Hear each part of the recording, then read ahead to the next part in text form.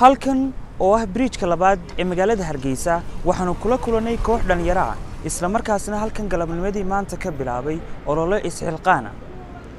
Goordamba oo caawa ayay waxay la soo gaadheen shaqadii ay halkan ka wadeen waxaanan ka waraysanay ujeeddada ay ka leeyihiin ololahan isxilqaanka ay gacanta ku hayaan.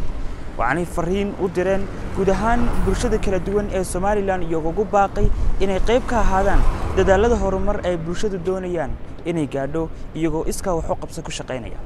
Waad arkaysaana waxaan nahay dhalinyar iskood isku xilqaantay waxaanu ka socnaa jaamacadda hargeysa university of hargeysa faculty of engineering. Ardaydeedaasi waxaan nahay arday iskooda kalaasa ilaa waxaan ka koobannay toddoba arday baan ka koobannay.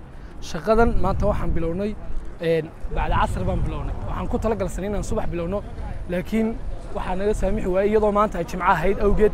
Ayaan damcnay inaan bacda casr bilowno هاوسن واحد نوجي واحد ويا إن مركي ماير كعاصمة الجمهورية السومالان مدن عبد الكريم أحمد موجي وبا قدرة أن يرتع عاصمة الجيسة أو أهيد وأن يرى هدي ده يدك وإحنا لقبنا عد وحكلون لقبنا سميتو با قي ماير كأيما ما أنت أنا نقول أسبرك تكلها نقول شو أبينا أن تسوينا ماير كنا نجرب فيزا تاجني إن ماير عبد الكريم أحمد موجي يقولي صدقان كانوا حنفرنا إن وأنا أركي سانو hawshaa waxaan u haynaa waxa weeyaan garab istaagkiina iyo inaanu garab taagnaano. Mar walbana waxaad niyadda gelisaan inaan anagu garabkooda taagannahay oo wixii hawla ay dhallinyarta looga baahdo aan anagu ka kownahay. Hawshaydu keliyaata kuma koobnaan doonto inaan inaan rinji marino allahuma salli ala inaan rinji marino bariishka laakiin hawshaydu intan iyo in ka badan bay noqon doontaa. Hawshan ujeeddadunkaan u bilownay laba arrimood baan ka sheegi ujeedka koowaadaan u bilownay balsi bal samafalkaa rabbi uu tilmaamay in janno lagu helayo inaan uga qayb qaadanno nebigu calayhi salaatu wasalaam wuxuu tilmaamay.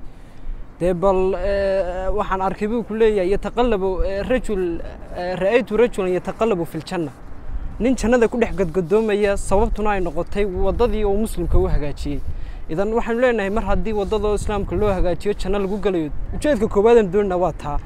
Ujeedka labaadeenu na keenay xaggan waxa weeye bal humuumtayda maanta naga dhex guuxaysay inaannu keenno bartan. Oo laga yaabo humuum siyaasiya inay tahay oo mid mustaqbaleed oo ah dal iyo dadba inaanu wax u qabanno maanta barbilowgeedii iyo beysigeedii maanta halkaasaanu ka bilownay insha allah halkan iyo meel ka saraysanna waanu hiigsanaynaa. Ujeedka saddexaadna waa dhalinta inteeda kale inaanu horseed u noqoto maayar iyo gole arrin kastood ku kacaysaan. Saddexa u daymo la'aanina kow kow tashi rabbi ilaahay istikhaaraysta laba shuuro ka tashada arrin kasta xoogagaalka la tashada culimmada la tashada.